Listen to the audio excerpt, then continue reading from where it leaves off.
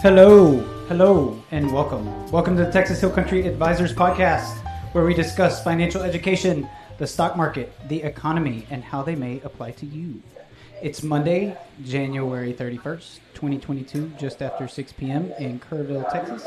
We're streaming from the most wondrous Pint and Plow, our usual location. I'm your host, Andrew Gay, along with my business partner, Gilbert Pies, and our beloved guest tonight, Keely Herod. Hello, guys. Hello. Good to see you. Glad that y'all are here. I've seen you all day, Andrew. Oh, I know. I'm sorry about This is that. just a continuation. I sincerely apologize for that. Um, all right, so we got a we got a great show for you guys tonight. Thank you for tuning in. Thank you for your viewership and your participation. We really appreciate it. Um, we're gonna do our market recap as usual, and then we're gonna jump into uh, talking with our friend Keely about some CPA topics. So uh, before we get started, I'm gonna read through our necessary disclosure, and then we'll jump right in. Securities and investment advisory services offered through Next Financial Group. Uh, Next is a member of FINRA and SIPC. Texas Hill Country Advisors not affiliate of Next Financial Group. This material is not intended as an offer or solicitation uh, for the purchase or sale of any security or other financial instrument. Past performance does not guarantee future performance. All the views expressed are those of Andrew Gay and Gilbert Pies and Texas Hill Country Advisors, and not those of Next Financial Group. The S&P 500 is a market cap weighted index composed of common stocks of 500 leading companies in leading industries of the U.S. economy, and the Dow Jones Industrial Average is a price weighted index of 30 actively blue chip stocks. So, speaking of those two indexes, let's take a look at the markets. What happened over the last week? it, was, Um, it was crazy. it was crazy. Crazy last week. Up and down and back and forth and sideways. All, uh, there's all kinds of stuff going on out there right now, too, right? Plenty of volatility to go around. Yes, yes. Um, well, Jerome Powell spoke Wednesday, right? And uh, we saw the markets go through a nice little sell off there. Um, but then uh, we rallied back Friday. But nevertheless, we still got a bunch of negative numbers uh, for year to date numbers for the indexes. So I'm going to run through those real quick. Dow uh, posted 34,725.47 was its closing number as of last Friday. That's down negative 4.44% for the year. Um, so, and actually, the, the last time we did this, 20, which was the quote from the 21st, we're up a little bit from there, so it was down a little bit more than that. So we're, we're, we're coming back, but we're still negative there for the Dow for the year. The S&P uh, closed at 4,431.85. That is a year-to-date negative 7% um, there for the for the S&P. And the Nasdaq closed at 13,770.57.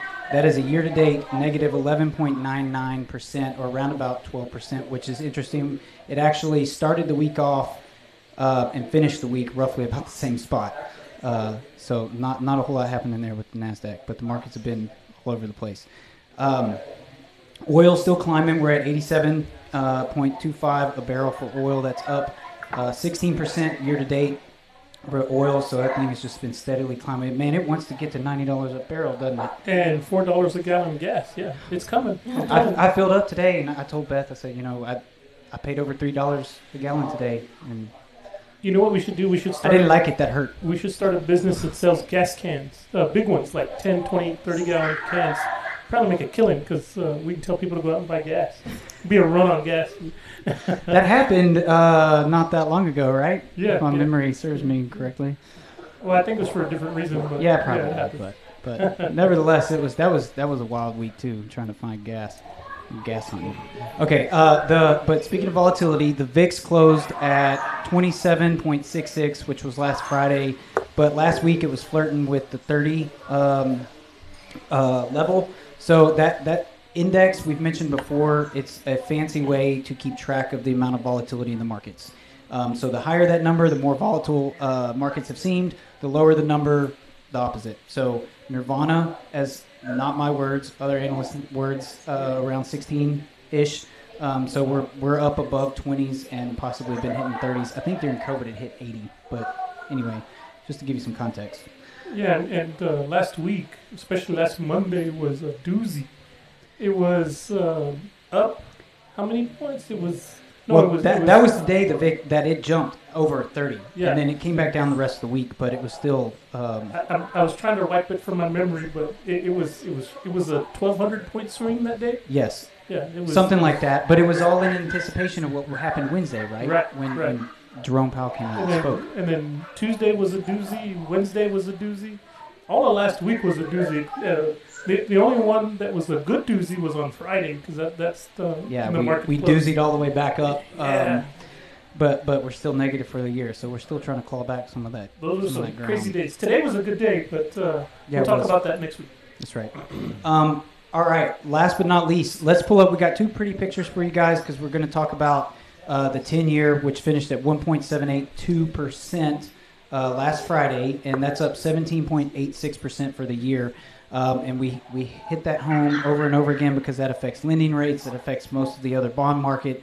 Um, that's a nice metric to keep up with um, to keep a pulse on what's going on in the credit markets or the bond market um, in the interest rate world. So the first picture that we're going to pull up here is it's uh, you're like Andrew. Are we looking at Wi-Fi signals for the banks? No, that's not what that is. Those are Can you- actually Can you, hear me now? That's my Yeah. cell phone signal. yeah. yeah. Um, no, those are actually projections by the bank name that's above the graph for where they think the interest rates, and when we say interest rates, we're talking about, in this case, the federal funds rate that the Federal Reserve sets, the bottom interest rate, if you will, where they think that thing will be by the end of the year.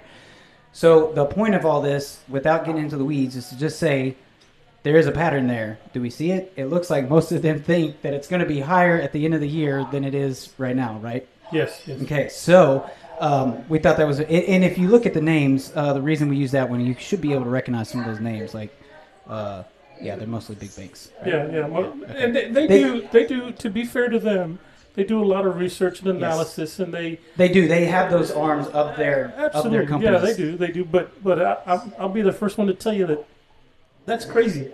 Yeah, I, I don't think uh, one, one of those banks says that interest rates are going to go up seven times.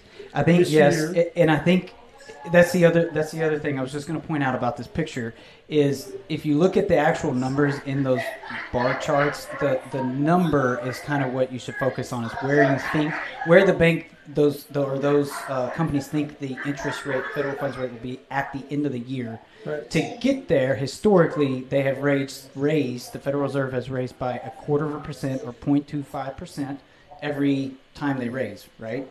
Most of the time, yeah. But I think as we've come to find out, and in the next picture that we're going to show, um, that might not always be the be the case from here on out. So we might, lots of talk that they're going to do fifty point, fifty basis point Yes. increments. Um, I, I don't, I don't believe that either. But what do I know?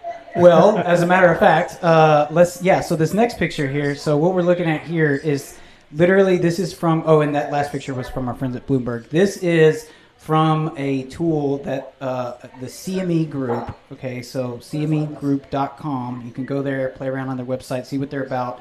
They have they offer this tool, which is a Fed Watch tool, and it predicts or not predicts. It projects, I guess, the uh, likelihood of rate of a rate hike or the target interest rate, okay, set by the Federal Reserve at the corresponding meeting across the top. So you can literally go across the top there if you're on this tool and click on these different dates for their different meetings that are already previously set, and it'll tell you the chances based on Fed fund futures, right? Because you can drill down and figure out how they make these numbers too. That's on there as well.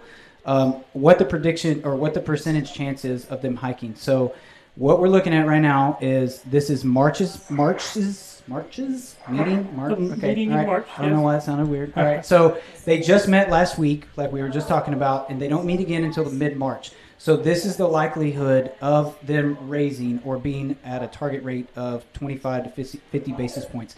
And if you look at this graph, the that middle bar right there, the the highest likelihood is 80, roughly about 84 percent, and if you went back to last Friday, it was actually above 90%. So you're like, Andrew, what happened? How? Well, so you're telling me that the likelihood actually dropped when when most of the rhetoric in the market market and narrative says we, we're pretty sure they're going to do it. Well, if you look what happened, some of that blue bar got cut off at the top that would be above 90 and it got moved down to that other section that says 50 to 75 which is what gilbert just mentioned that there is a slight chance that maybe they raise rates up to half a point instead of a quarter a point at the march meeting. So that's what that graph illustrates right there. Wanted to show this to you guys because i know sometimes it's hard to muddle through a lot of the, the noise and get to the actual data but That's it right there. So And I've, I've gone on record saying that I don't think they're going to do. I think they're going to raise interest rates once. right. Yes. Not sure by how much, but I think they're going to do it once, and then that's it. You you did you did never you never said how much. I, that's right. I never said how much. The other thing too is that you know the the highest or the most raises that one of these banks indicated was seven. Um, the truth is probably somewhere in the middle. It's going to be between seven Right. raises and one raise. Right. well, and I think that seven raises, their target is closer to two percent or something by the end of the year. Which still, if you just take the number of raises off and look at the the interest rate, that still sounds really high. Uh, here, here's here's my suggestion. They're trying to scare inflation out. Uh, was that was that you, Louis? God bless you, sir. Sorry. Golly, Silent partner. Of ours. Sorry, guys. you you rattled the ground. I I'm mean, sorry. it was uh, man. You sure you didn't lose something? I knocked a couple of teeth loose. Yeah. So, uh, going, going back to our interest Yeah. rate discussion, not to get sidetracked by Lewis's uh, explosion of his head, uh, I, I think that the feds are trying to scare away inflation. I, Yeah. I think they're doing Right. their best to talk it away. They're trying to tell everybody this is what we're going to do, and I, I'm I'm willing to bet that they're just trying to buy themselves some time right. and they figure that if they scare the market so bad about raising interest rates, that inflation will just magically disappear. Now, it's probably not going to magically disappear, but it's probably not going to be as bad as they think. Um, so that, that's why I'm on record saying that I think they'll do it once. Um, Well, and as as you're, you know, as I was leaving the office to come up here, there was a Reuters article that came out that said um, same same thing that we've been talking about. Well, maybe not so fast. yeah, So there's certain there's certain things out there that some of the institutional guys data that they're picking up on that says maybe inflation's starting to cool off just a little bit, um, which could pose a problem for the Fed and what we just talked about. right. Um, And, and all of these people that are putting out predictions of three to five to seven raises, um, can, can you imagine what, what that's doing to their portfolios and what they're doing? I don't know. well, I and mean, don't they also use to just like nerd out on the math side real quick? Don't they don't they use a lot of those assumptions to use um, to discount prices Sure, and of stuff? course, so of course. wouldn't that be throwing out all? I mean, throwing off all kinds of modeling and I mean, You- but you know who knows? You know who knows the answer?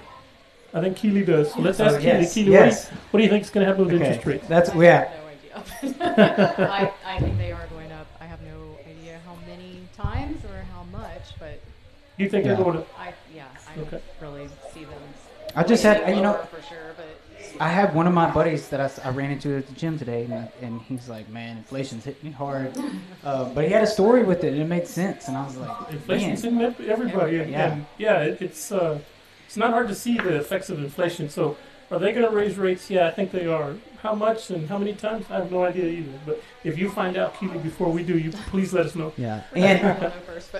Sure. Well, um, yeah. So let's uh, switch gears, and we'll move right into Oh, talking and, to and, our. and, and yes, before we switch yes. gears, I'm sorry. Let, let me just say one more thing, Be, because I've had one, a couple of people ask me, okay, you keep talking about inflation and interest rates and the market and, and what's going on. What should I do? The simple answer to that is nothing, because I think ultimately a lot of what is going on right now when it talk when it comes to inflation and interest rates and market volatility, uh, I think a lot of that is just noise. Because ultimately, what what we're we should focus on are the fundamentals. What what are the Yes. fundamentals of the economy doing? Are things still growing? In fact, there was a nice Wall Street Journal article today about is there can there be growth in the economy with um, higher interest rates? And and and the answer is yes. Sure. Uh, and, and we'll talk more about that next week. But I wanted to uh, throw that out there. So what Yeah. should you do right now if you've got a portfolio and you're invested? The answer: nothing. Don't do anything. Now, now, Or real- come come talk to us and get a second opinion. Yeah, re- we'd be happy real- to talk to you about that. Maybe, maybe now's a good time to reevaluate, make Right. sure, do a gut check on what you're doing, but ultimately, probably you should do nothing. Right. and Yes. also, uh, I think a lot of what we're seeing with inflation, we don't really know if it's truly inflation yet. There's a lot of supply chain shortages that Sure. have also increased prices. Right. So Absolutely. really hard to know. Like at the Well- pump, what are we paying? Right. Is it all inflation or is Well, some of it supply chain? And we've only had to that point. We've only had since, you know, pick a point that you want to call the recovery after COVID, mm-hmm. and then go from that point forward. And it's not a whole lot of data. You know, if things are down one year, that was the problem with 2021. Is like if things are really down in 2020, Well, and you're measuring the rate of change, and then they go back to like Yeah. normal in 2021. Aren't you going to have a huge rate of change, right? Sure. That was the problem with that. So trying to cut through all that. Yeah. Um, yeah. Anyway, okay. So um, CPA talk. All right. All right. Taxes, So yeah. what a timely uh, point in time to have this podcast. So uh, yes, thank you again for joining us. Uh, Thanks for inviting me on. Absolutely. I know I'm not, probably not the only one that myself and my wife and our household are trying to get our tax affairs in order and hit the filing button on Mhm. TurboTax. I'm a DIYer. I, I do it myself. Um, You're gonna get audited. but uh, yeah, I know. the IRS's algorithms out there I'm, scouring. I'm gonna call somebody at the IRS and say, "Audit Andrew, audit Yeah. Andrew. He's got some fuzzy mat.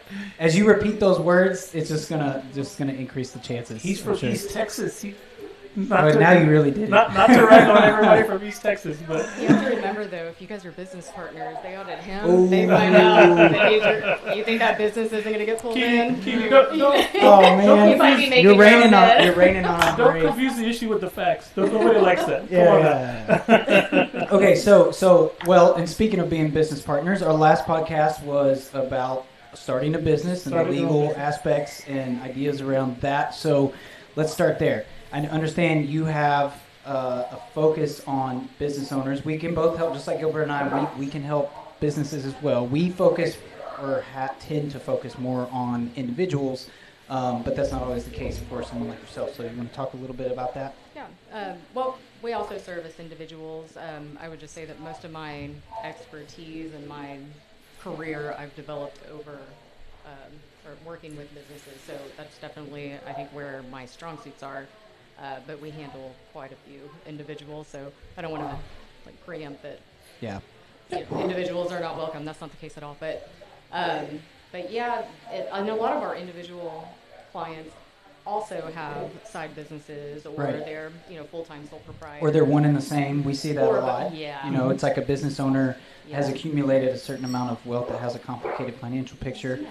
A lot of Find, them, times- find their way to us, Mhm. and they are technically a business owner. And sometimes they're Yeah. so active in managing that business. Yeah, and then sometimes individuals can end up with really complex returns and have no business activity. Just the investments alone can be very, Bitcoin, yeah, offshore very- Oh my accounts. God. A lot of investments now are um, they're PTPs the pass through partnerships, so you end up with a Sure. K1 and you have no idea what to do with it, and it can. Hold, hold this a little closer. Oh, sorry.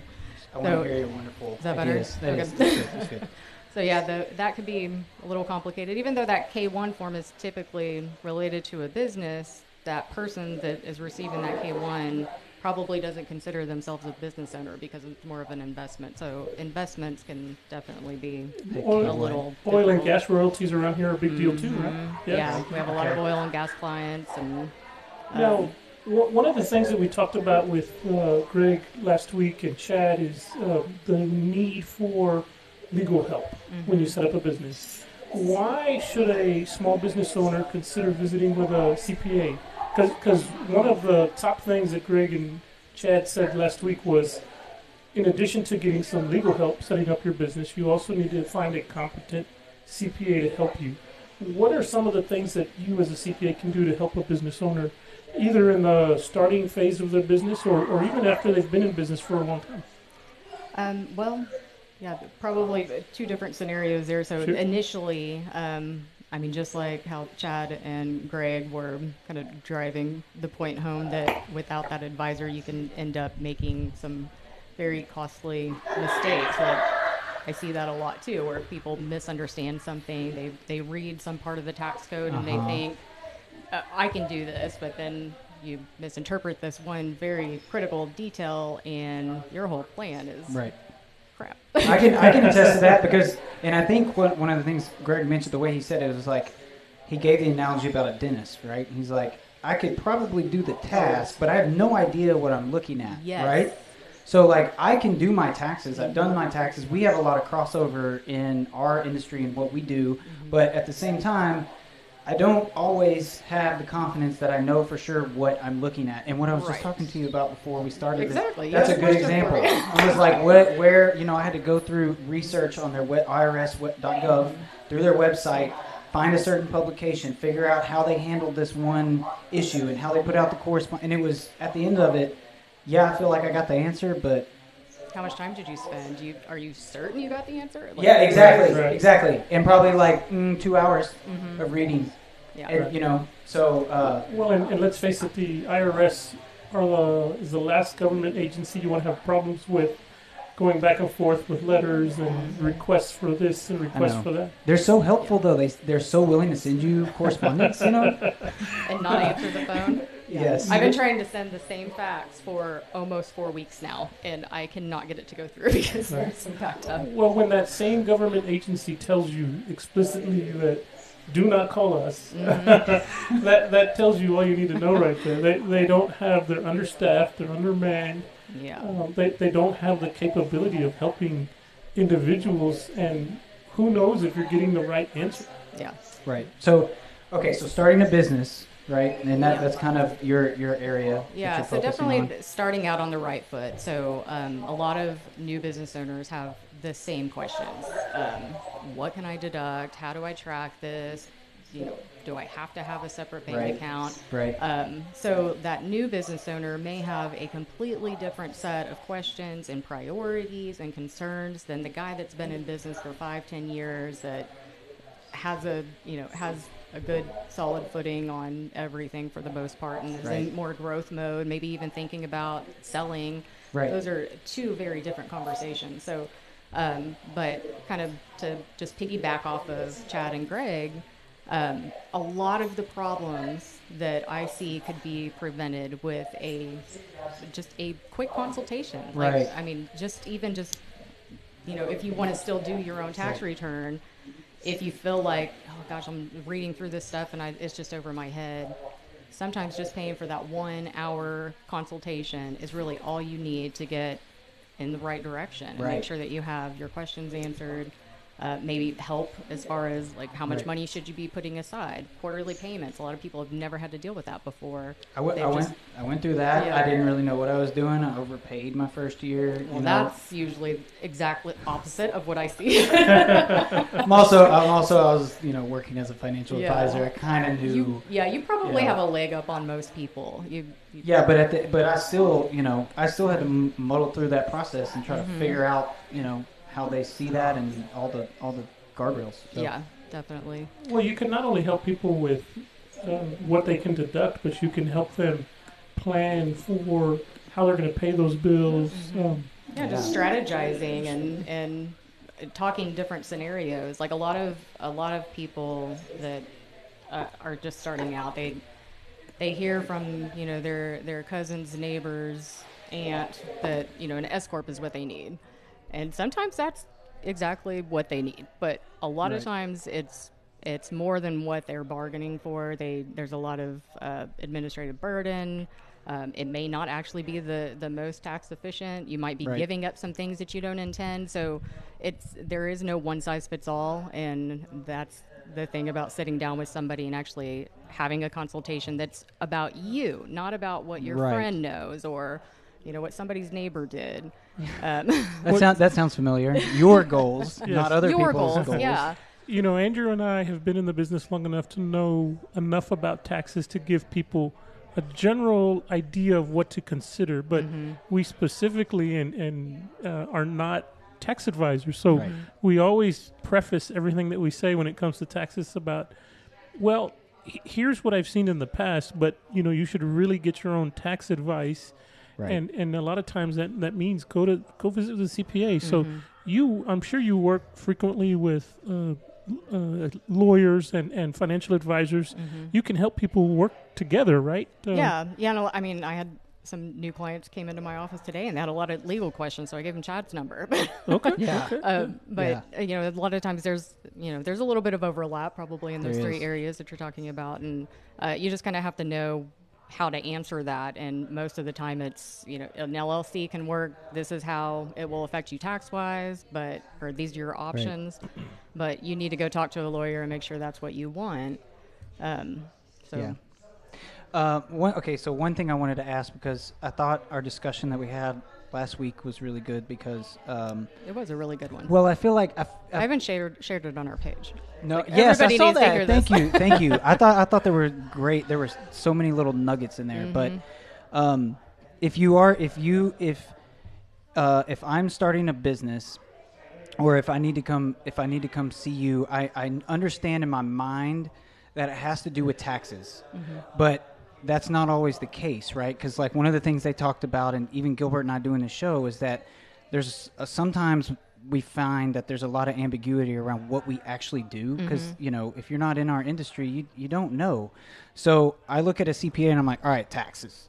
And then like i also because I, you know from schooling and stuff i know there's audit also mm-hmm. but could you could you maybe break that down and say okay for like the the average bear you know you offer tax services right that you charge a fee for but are there other services or other things you can help with as a cpa Yeah, I mean, just in general, accounting and tax. Um, Okay. We our firm no longer does audit, but in general, a CPA can do when you audits. say and when you say accounting you're talking about like bookkeeping yeah, bookkeeping, Okay. accounting. Um, okay What about And- payroll?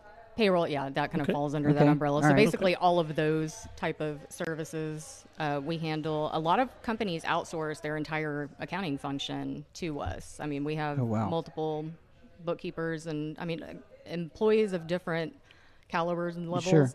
So um, outsourcing to a firm, you get somebody higher level like a CPA. You have somebody that can handle the day to day stuff and everything in between. in time Rather- like the in question you time, just yeah. asked me yeah because it's like you don't have to spend the time doing exactly. that anymore man But it's it might be a, a good option for a smaller business that that wants kind of a blend of those different types of services. So they they may want somebody, you know, a higher level that can answer more strategic questions, sure uh, more proactive Right. hand holding, and then Right. they still need their bookkeeping done.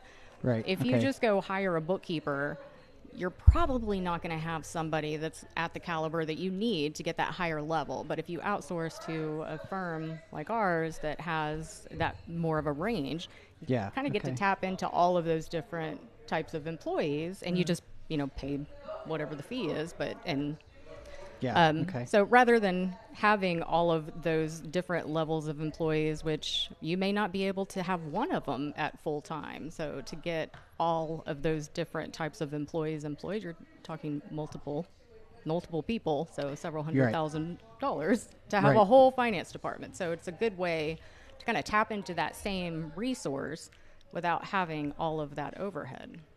love it that's awesome it's Yeah, cheaper yeah. man Yeah. it's great Yeah, na- nowadays um, it, it is makes more sense to outsource some of the functions. 'cause I think even Greg mentioned it the other day, right? He said, um, "Do what you do best and outsource the rest." Yeah. And so, finance is Hmm. not and accounting are, is not most people's strong suit because because when you sign that um, uh, 1040. You're you're you're signing off that it's it's uh, accurate and correct and good and Yeah. if you make a boo boo, uh, you're going to have to go stand in front of the IRS yourself. You're Yeah. the But if you have a CPA, well, they're going to do that for you, so they, they can offer that. yeah. So, so when it comes to individuals um, or, or even businesses, uh, it's fair to say that you don't want them to just show up with a shoebox at the end of the year and say, "Here's all my receipts. Figure it out." Oh God, please don't do that. there you go damage control yeah. Um, and sometimes, if if you are one of those people, uh, it might just be worth picking up the phone Yeah. call and saying, "Here's what I have. What, you know, how, what format do you want this in?" I mean, you may i- actually. it is totally okay Yeah. because I used to be like that Mhm. before. You know, I was, uh, you know, I don't know, ten years ago when I was in my 20s You know, it's like I, I understand that. That's totally okay. You're just bragging now. You're just It- saying, no, when I- I'm just when I saying was it's- in my 10 ago, in my 20s. No. Stop! I'll start with the gray hair thing again. no, um, but but you know, it's that's important. I think for people to understand that you don't, you're not just magically at that point. You have Mhm. to work at it, which you know sometimes the start of that journey can be the phone call. Yeah, Yeah. yeah, exactly. I mean, I think a lot of people probably are better off than what they think they are. I mean, I, and now, depending on how you have your stuff organized, if you just keep it all in one bank account, one credit card, whatever, your bank or your credit card might even be able to pull a report that may not be entirely accurate, but may be close enough that you can save a lot of time. So there's a lot of things Huh. available that you may not even realize you have. But I mean, I we don't need all of the receipts. We just need the information summarized so that we can actually Right. prepare the return. So Um, I mean, it doesn't have. We don't have to see all of the receipts. We don't even want to see all the receipts. Now- I can now tell you you're- that for sure. now you're giving me flashbacks to a banking career, printing out Yeah.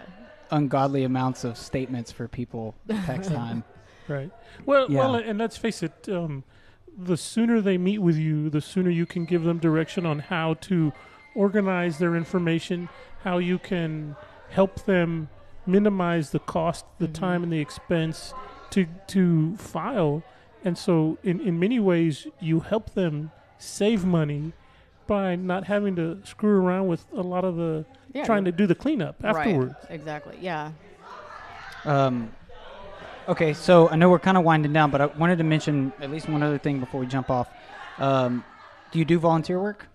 Do you mind Yeah, talking about that? Yeah. I well, yeah. I volunteer with a couple organizations. Um, But I think one of them. Do you? So do you actually have an option for someone to learn QuickBooks? Do you formally do that right now or not? I uh, we may do That's what I- like a that's what I was training going for. system for a couple clients, but I, I teach a QuickBooks class at the Christian Women's Job Corps, but that's just on a volunteer basis for their organization. I see. Yeah. Okay. Um, But but if somebody wanted to pay you for an hour of your time or somebody else's in your office time to learn QuickBooks, you could you could do that. Generally, generally, it's you know a, an issue that we're trying to help somebody out with. We don't really have like training classes. Mm. Not to say that we wouldn't one day, but for the most part, it, it's you know if you're having a hard time trying to figure out how to you know build this report or set up your chart of accounts or something like that, then yes, we'll consult. Okay. okay. that, but All right. Well, that's um, good to know. Maybe that's something to think about. Maybe Mm-hmm. uh, maybe. do do something like that. Sh- You know, offer the service to help people with QuickBooks. Gilbert, I've Gilbert never- wants to learn QuickBooks. no, I don't. what are you talking about? Are you crazy? The less I know about QuickBooks, the better. uh, well, if if somebody wanted to contact you Yeah. and visit with you, tell us where how they can reach you. Uh, well, phone, email. Uh, our website is madcpa.com. Love it. It's so awesome. Mad C- Why is it Mad That's- CPA? So Mike DeVille was the one that started the firm initially, and his initials are Mad, but it's funny, so we'll okay, keep yeah, it. yeah. But I love those like the Mad Hatter image. Yeah. Is what popped in because wasn't the Mad Hatter a, a, an accountant? Wasn't that's why he has the little ticket with the numbers? oh, in the- maybe I don't know. Oh, look I at don't that! I, I just dropped some learned- knowledge. I just I've learned dropped that some knowledge Scrooge on was- y'all. Yep, there we go. Aha! Look at Okay. that. I just Okay, learned okay. that Scrooge was uh, Awesome. an accountant. The, Oh, the, what- the the counting firm, I guess, is what they used to call Okay, CPA firm. okay. So he was Okay, a he was a cranky CPA too. Mad, Yeah, look at that. madcpa.com. Okay, all right. And then what's your phone number? Uh, two five seven three one one two. Call or text. Okay, and then you have a website too, right? Yep. Yeah, I think uh, we've got it up there on right now. And a Facebook page because you shared our, our Mhm. podcast or, or show from last Friday. So thank Okay. you for that. Excellent, excellent. Awesome. So people can just reach out, contact you, and say, "Hey, listen, here's where I'm at. How can Help. you help me?" Mhm. Help. Help. yeah, yeah. You know, we we um, I, I've been, of course, in the business a long time. So is Andrew, and we could tell you some uh, doozy tax stories too. Mhm. Um, Yeah. pe- people that come to us when they're in the middle of hell with the Mhm. IRS, and right. you know they they think that we can solve the problem. Well, we're financial advisors, not tax accountants, and we can't really give you advice. But let us hook you up with somebody that can help you. And Right. you know, taxes are one of those things that nobody really likes to do, but it's Mhm. it's a requirement. It's it's Right. a requirement, and we all, for whether we like to or not, have to pay our fair share. right. But our, the only our silent partner in everything we do, Mr. Yes, Uncle yes. Sam. I, always tell Yeah. people that Uncle Sam has his arm around you all the time, and whenever you do something good, he's he's happy for you, and Mhm. whenever you do something bad, he's sad for you, but he's still reaching in your pocket for his No for his matter cut of the deal. And uh, the the Mhm. more help that you can get, keeping him out of your life is probably good, and that's where CPA comes in. yeah. Yeah. Yeah, Yeah. excellent. Awesome. Well, thank you again Yeah. for joining us. Enjoyed it. Thank you. Hopefully, hopefully we'll see you back. And, and Um, I, I can tell you right now that, that we would like to have you back, you know, maybe a couple of times, a few times a year to talk about uh, some ideas and tips for Mhm. the end of the year. And then, of course, you know, maybe when April 15th comes around, well, maybe we'll talk to you after April. Yeah. 'cause I'm sure you're, Let's Probably do pretty after. busy. Yeah. Probably- yeah, yeah, yeah. probably, probably Yeah. busy, but, but, you know, maybe some tax strategies to come up with and yeah. more specific stuff. So thank you for joining us. Yeah. Thank Yeah. you guys for inviting me on again. Absolutely. Yeah. Thank you all, and uh, we will see y'all next Monday.